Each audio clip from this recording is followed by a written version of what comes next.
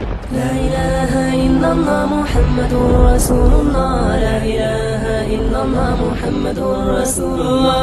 لا إله إلا الله محمد رسول سبسکرائب کریں میرے چینل سید سعد قادری کو اور بیل آئیکن دبائیں میری ویڈیو سب سے پہلے دیکھنے کے لیے.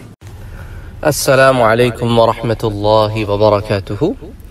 حضرت جبرائیل علیہ السلام کی دعا کے ضمن میں حضرت علی کرم اللہ وجہ سے مروی ایک حدیث ہمارے سامنے آتی ہے کہ حضور صلی اللہ علیہ وآلہ وسلم نے ارشاد فرمایا، میں نے جب چاہا کہ جبرائیل علیہ السلام کو دیکھوں، تو میں نے اسے کعبے کے پردوں سے لپٹے ہوئے اور یہ کہتے ہوئے سنا ہے، یا واجدو، یا ماجدو، لا تزل عنی نعمتا انعمت بها علی یا واجدو، یا ماجدو۔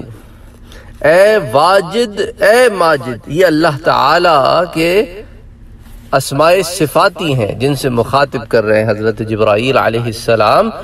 اے واجد، اے ماجد۔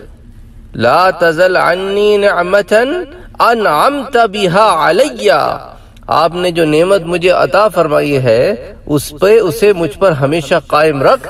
تو یہ دعا حضرت جبرائیل علیہ السلام کی حضور صلی اللہ علیہ وآلہ وسلم نے ارشاد فرمائی کہ میں نے اسے کعبے کے پردوں سے لپٹے ہوئے یہ کہتے ہوئے سنا ہے، تو اسے یعنی جبرائیل کو دیکھ لیا۔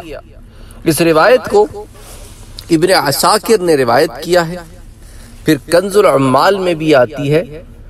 حدیث نمبر 5063 اور 6433 اگر آپ نے ابھی تک ہمارے چینل کو سبسکرائب نہیں کیا ہے تو سبسکرائب کا بٹن دبائیں، بیل کے آئیکن کو پریس کریں تاکہ آپ کو ریگولر نوٹیفیکیشن اپڈیٹ مل سکے اور آپ ہمیں ہمارے لائیو سیشنز میں بھی جوائن کر سکیں۔ ویڈیو پسند آنے کی صورت میں لائک شیئر اور کمنٹ کرنا نہ بھولیں۔